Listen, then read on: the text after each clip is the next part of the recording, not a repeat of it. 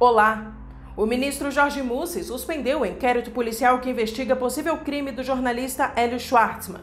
Em julho, o colunista publicou pelo jornal Folha de São Paulo o artigo Por que torço para que Bolsonaro morra?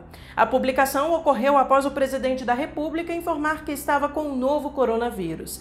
Segundo o ministro, não é possível verificar no texto motivação política ou lesão aos bens protegidos pela Lei de Segurança Nacional que justifique o inquérito.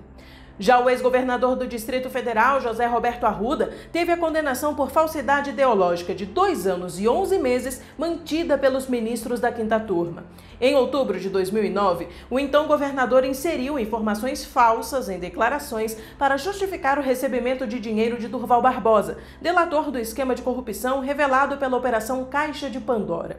Para os ministros, a condenação de Arruda não foi baseada apenas na delação de Barbosa, mas em laudos periciais, documentos e outras provas produzidas no processo.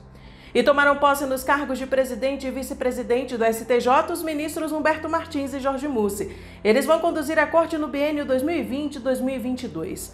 Para evitar a disseminação da Covid-19, a cerimônia foi restrita apenas a autoridades. Eles também vão ocupar o cargo de presidente, vice-presidente e corregedor-geral do Conselho da Justiça Federal.